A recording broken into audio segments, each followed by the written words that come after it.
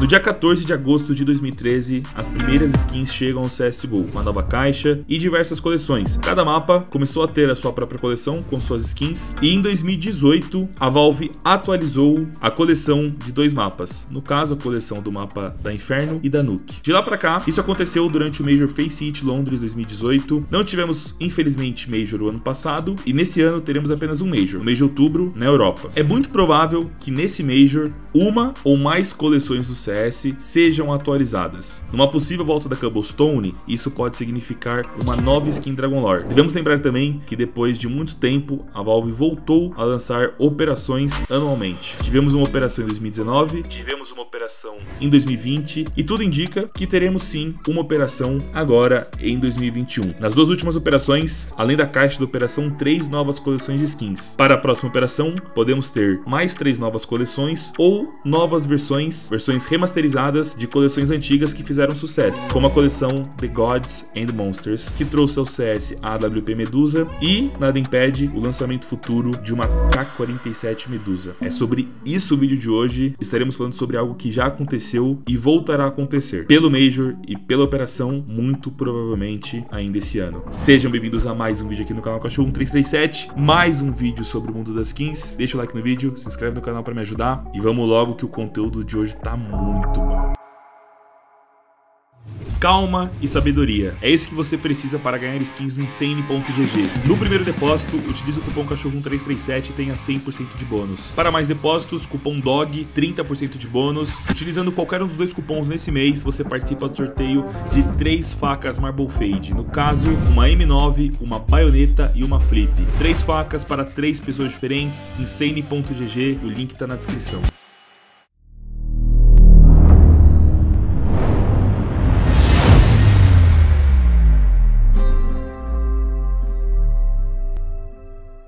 E esse mês você precisa utilizar o cupom DOG, porque eu estarei sorteando nada mais, nada menos que 5 M9s Doppler para 5 diferentes usuários do cupom DOG no csgo.net. Então se você quer ganhar uma M9 Doppler, utilize o cupom DOG e preenche o formulário que está na descrição. Você tem problemas com FPS no seu CSGO? Aconselho então o FPS Go, o aplicativo que promete levar o seu FPS ao limite. Milhares de pessoas, incluindo pro players e streamers, já utilizam. Na hora de fechar a compra, utilize o cupom DOG e participe do sorteio de uma baioneta Doppler e de uma baioneta Tiger Tooth. Formulário na descrição, fpsgo.com.br. Acesse agora.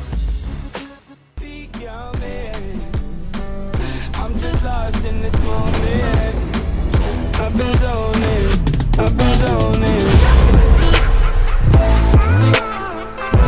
isso aí, rapaziada. Vamos lá. As primeiras skins e as primeiras coleções chegaram ao jogo em 14 de agosto de 2013. Enfim, foi em 2018 que ela atualizou duas coleções, ou seja, cinco anos depois, né, que as primeiras coleções chegaram. Se ela repetir o ciclo, será em 2023 que ela atualizará algumas novas coleções. Isso seria muito legal. Eu não tenho certeza se esse ciclo irá se repetir exatamente em 5 em 5 anos. Eu acho que pode sair até antes, né? Inclusive, eu acho que é até bem provável. Quando ela atualizou, a coleção da Inferno e a coleção da Nuke, foi durante o Major de Londres do ano de 2018. E ela disse o seguinte na atualização: Para o Major de Londres, estamos apresentando novas coleções de armas para Nuke e Inferno. Você pode encontrar os novos acabamentos de arma em pacotes de lembrança durante o evento, é o famoso pacote de lembrança, itens souvenir, enfim. O ano passado éramos para ter um Major no Brasil, isso não aconteceu por conta da pandemia. Esse ano o Major irá acontecer em outubro na Europa, não sabemos ainda qual país exatamente, porém muito provavelmente a Suécia. Por tudo que aconteceu por a Valve estar tá mais engajada agora nas atualizações, lançamento de skins, operações. Eu acredito muito que nesse Major alguma coleção será atualizada. E aí vem o primeiro ponto. A Cobblestone pode voltar ao competitivo? Ela pode voltar de forma oficial ao CSGO? E eu acredito que sim. É um mapa clássico, é um mapa de sucesso no CSGO, é um mapa que muitos têm saudade e é bem provável, eu acredito que um dia a Cobblestone volta ao CS. Não é possível que esse mapa será para sempre extinto do competitivo. Não faz sentido nenhum. Voltando a Cobblestone, o que impede uma nova coleção de skins para o mapa. E aí, nesse caso, a Dragon Lore iria valorizar muito. Afinal, teremos 100% de certeza que nunca mais haveria a possibilidade de dropar Dragon Lore. Então, nesse caso, o preço da Dragon Lore poderia até dobrar ou, ou até mais. Lembrando, né, que a ilustração da skin Dragon Lore está presente dentro do mapa da Cobblestone. Se uma nova versão do mapa da Cobble volte ao CSGO de forma oficial e se aquela ilustração se mantenha, o que muito provavelmente vai sim acontecer, visto que na última atualização que tivemos na Cobble o desenho não saiu de lá, nada impede novas skins Dragon Lore. E aí poderia ser uma M4A4 Dragon Lore, uma Desert Eagle, uma K47, que na minha opinião, pô, é a mais bonita de todas que eu já vi. Dessas que eu mostrei, qual você acha que seria a mais bonita? Isso é totalmente possível, rapaziada. E eu, mano, sempre vou bater nessa tecla. Já falei isso em janeiro de 2019, repito agora, quando acontecer, aí vocês voltam a falar comigo. Faz sentido.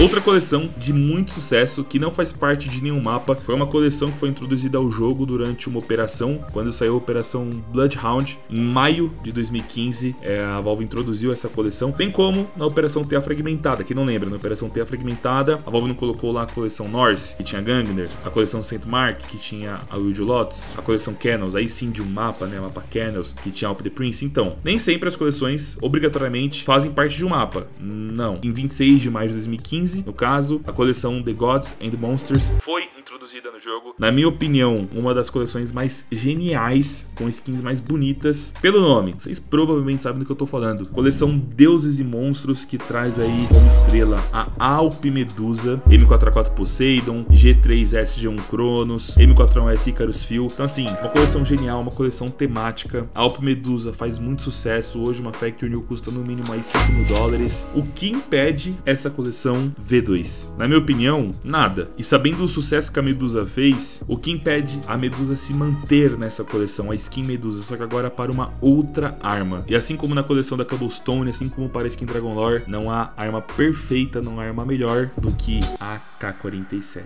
Veja essa simulação criada pelo Ares. Cara, que bizarro. Imagina essa skin com, com um foil onde seria a madeira. Cara, eu achei fenomenal. Mano, seria uma das skins mais bonitas de AK do jogo. Uh, essa skin muito mais bonita que uma Wild Lotus, que uma Fire Serpent. Eu não tenho palavras para descrever isso daí. Eu acredito que é mais fácil uma coleção de um mapa voltar remasterizada com novas skins do que uma coleção que não faz parte de nenhum mapa, né? Como a coleção da Medusa. Eu acho que é válido trabalhar com essa possibilidade. A gente não está inventando algo que nunca aconteceu. A gente está falando sobre algo que já aconteceu em 2018. E é importante lembrar que de 2018 para cá, a Valve, embora não pareça, mas sim, a Valve está muito mais ativa nas atualizações. Em 2018 a gente não teve operação, por exemplo. Em 2019, o ano inteiro a comunidade clamou por uma operação. A última operação havia sido em 2017 e no final de 2019 veio a operação, bem como no final de 2020. De lá para cá, teve, pô, teve um novo panorama, teve MP5, muita coisa tem mudado no CSGO. Eu sei que vocês vão falar, ah, mas os hackers continuam. Mas aí é outra coisa. Então eu penso que no próximo Major teremos novidades. E faz todo sentido acreditar que uma dessas novidades será a atualização das skins da coleção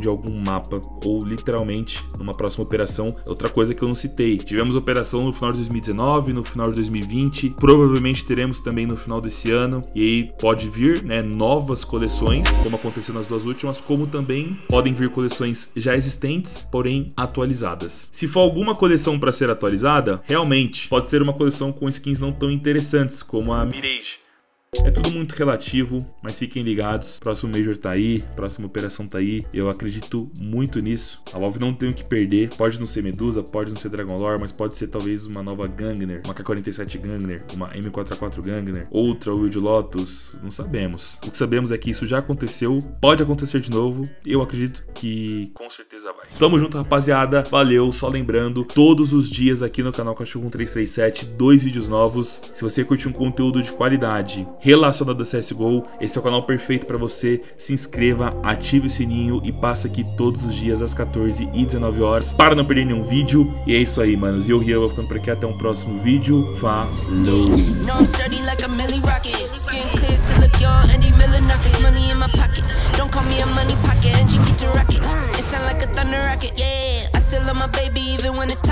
Crazy like she Britney, but no, she don't shade. Russell I get stay in the pocket. I get paid and do my dance like a touchdown.